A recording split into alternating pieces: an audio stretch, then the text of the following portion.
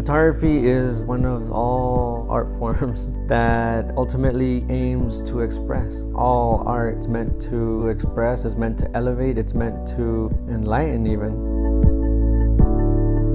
While I was studying architecture, I minored in photography. But ultimately, I decided to leave architecture for photography. On top of the fact that I liked it, I was also encouraged by my teacher. And he planted that seed that maybe I could do that seriously. And if I can improve that much and impress him that much in that time, maybe I can do better later on. And ever since, I've been following my intuition. Ready to go? Ultimately, I find that as an artist, I need to channel my emotion in some way. It's expression. That's the humane side of ourselves that we neglect. When we feel something, we don't express it. We don't know that we need to actually express it, how crucial it is for us to express it.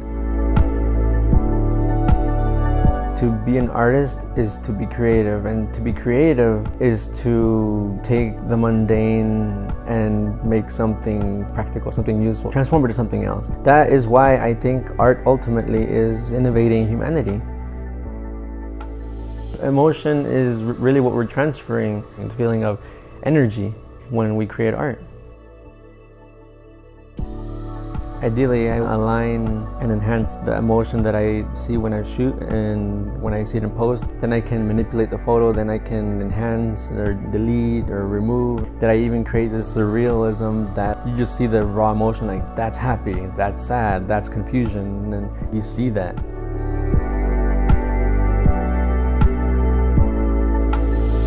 Everybody is an artist, even if you're a doctor, even if you're a mechanic, if you're an accountant, you're still an artist because it's that challenge to create something more expressive, to create something so expressive. And in being creative, you are an artist.